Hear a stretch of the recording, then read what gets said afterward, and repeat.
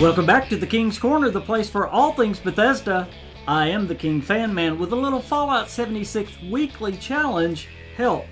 I heard some of you are having a little bit of trouble finding the survey markers in Fallout 76's weekly challenge this week, so I thought I'd give you a little bit of help finding at least three of them because that's all you need, really. So let's jump right in.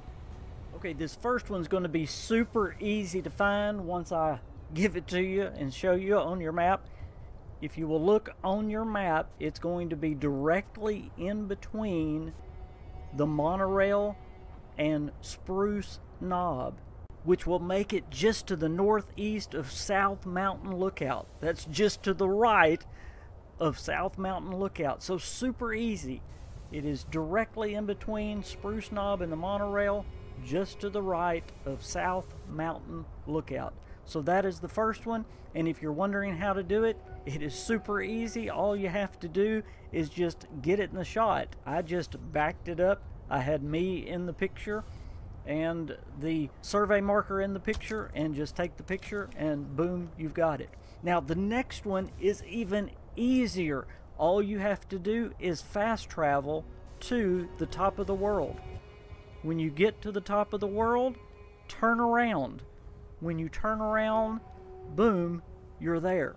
All you have to do is look down and you're there. There is number two. Take a picture and you've got it. And now for number three. And you're going to thank the King Fan Man, right? Because I'm going to get you through this weekly challenge in record time. For number three, it is in the forest, and it's going to be at that big old K word that I hate pronouncing. It's going to be at North Kanawha Lookout.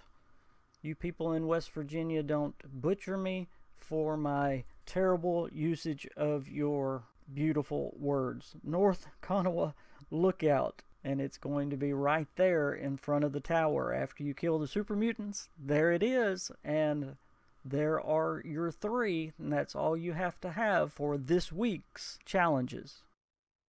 Y'all be sure to check all my links down below. Thank y'all for stopping by the King's Corner again. I hope this helped. Stop by again. I'll see y'all in West Virginia. Bye, guys.